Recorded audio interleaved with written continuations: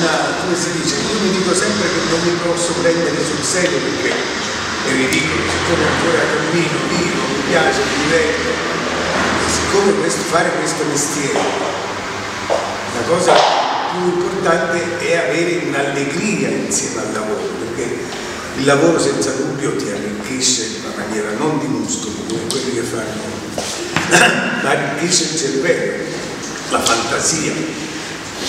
Ed è chiaramente un grande privilegio.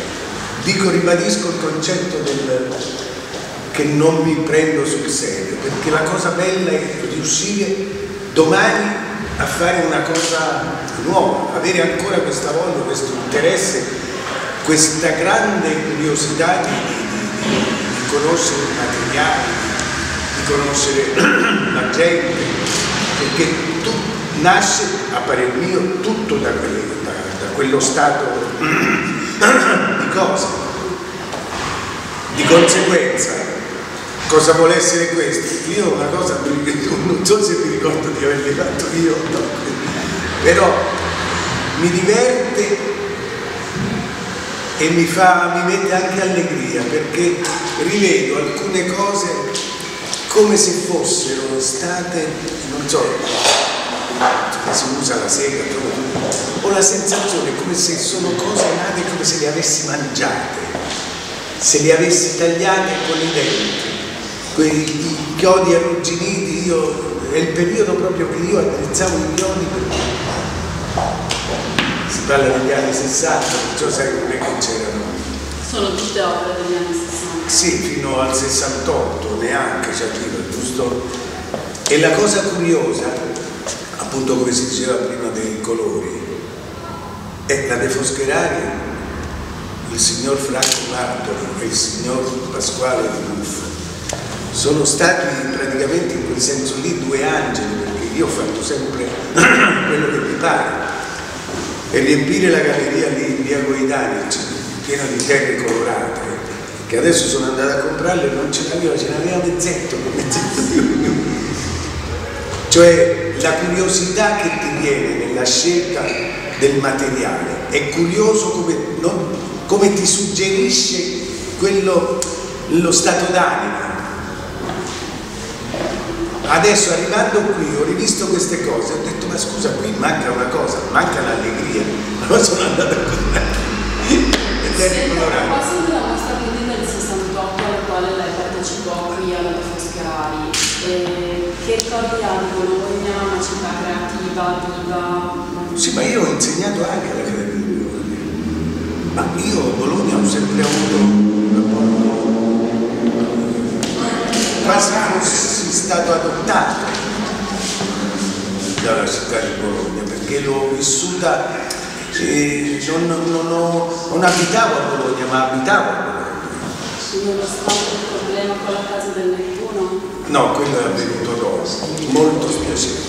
Eh, infatti io volevo che Io vorrei non parlarne, però lei lo deve scrivere. Io di quella storia sì, non mi dica almeno come è andata a finire, con che spirito torna a Bologna. No, ma no, ma io no. Guarda,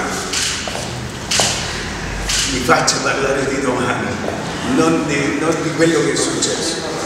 Non è stata una cosa carina. Non è stata una cosa carina. Non so se è colpa di Bologna. Io credo che sia colpa dell'Italia, del nostro paese, perché noi siamo così. Noi siamo maleducati. Non è colpa di Bologna. È l'Italia, gli italiani che sono ignoranti e maleducati, molto maleducati. Sì, però insomma in particolare Bologna lo è stata. Io, io- io devo dire che quella cosa lì era un, un lavoro fantastico, adesso non so, a distanza di tanti anni, era un'idea, era un'idea bellissima, era un'idea che si ripeteva quando io vinsi il premio alla Biennale di Venezia con la Cassa Sistina.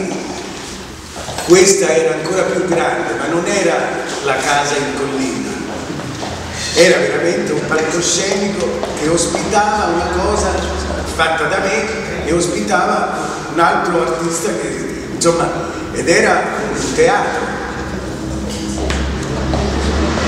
come quello di cioè non capire quelle cose e a distanza di, di, di più 30 anni, era 85. Era l'88 quando hai cominciato a restauro ecco, è, è un oggetto bellissimo che io volevo che si donasse alla città di Torino, ma non, alla, non, non, non, alla di Bologna, non al, al comune, al. No, aspetta, era, era, dedicato alla città di Bologna, cioè alla, al popolo di Bologna, agli abitanti.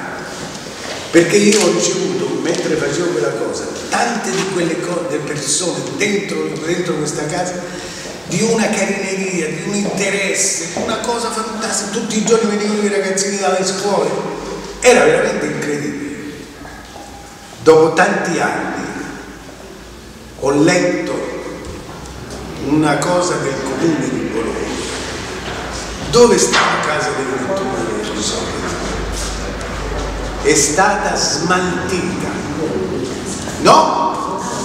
Smaltita è diverso è diverso. Non ne parliamo più, prego. No, no, non ne parliamo più. Lei deve solamente scrivere che non voglio parlare di quello. Però può mettere è stata smaltita perché è veramente offensivo. Non lo meritava, non lo meritava. Ma la mostra? Però la gente deve sapere che quella cosa lì io l'avevo donata a loro, ai cittadini di loro. E, sì, per essere poi messo dentro la gamma, la galleria sì. Quella era la promessa. Ma eh, cioè, anche si è parlato anche di come risarcimento avrebbe dovuto avere una mostra personale a una Beh, no, no, no, non credo che io ho bisogno di, di essere risarcito con una mostra. No, no, no, no, no, ma io non voglio, io non voglio né l'uno né nell'altro il Gianfranco Maraniello è venuto a vedere i miei, i miei lavori proprio perché vuol fare questa grande mostra qui a gennaio al, al, al,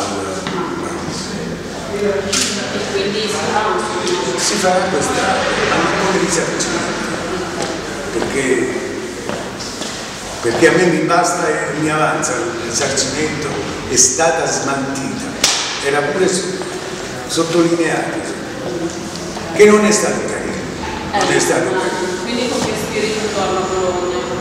Ma no, ma no, no, con che, con che spirito? Ma io Bologna è una città che ha, ho amato e amo ancora e poi penso che questa mostra è dedicata a Franco Bartoli, che non c'è più, c'è, e a Pasquale perché sono state due persone, almeno per me, ma credo contesto dell'arte contemporanea di primordiali, in tutti i sensi. Già il fatto che Pasquale riesce a mettere insieme tutte cose che non, io non, non, sono tutte di collezione, io non ho nulla di questo che sta qua dentro.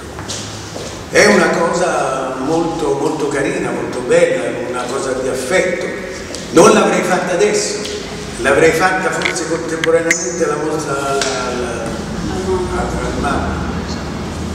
però lui ha insistito. Io ho grande affetto per la galleria e per la persona di Pasquale di Franco che non c'è più, ma insomma c'è un suo rappresentante Bernardo, però mi sembra, mi sembra, una cosa molto bella perché poi ci sono pezzi che veramente hanno 50 anni, c'è quello là, quello che diciamo. E comunque Bologna oggi rispetto all'allora come la sempre attiva dal punto di vista artistico, c'è fermento. Ma non c'è nulla, no, non c'è nulla in Italia, non solo a Bologna. A Bologna la cosa fantastica è che vedi girare tutti i ragazzi, cosa che nelle altre città sono tutti vecchi ricoglioniti. Perché ho visto solamente ragazzini.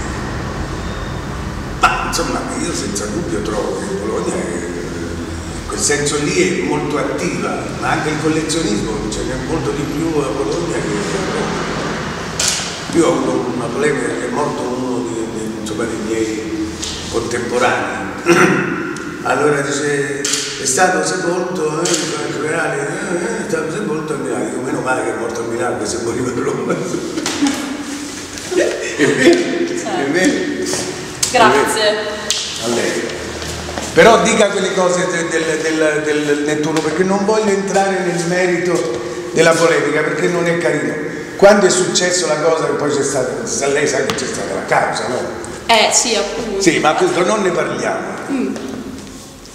Ma non, ci sono state delle non mi, novità. non mi prendo, non, non mi posso prendere sul serio, capisci? Va benissimo. Va bene. Siccome io devo stare qui ancora molto tempo, ho un appuntamento fra 3.000 anni. Però. No, eh, però.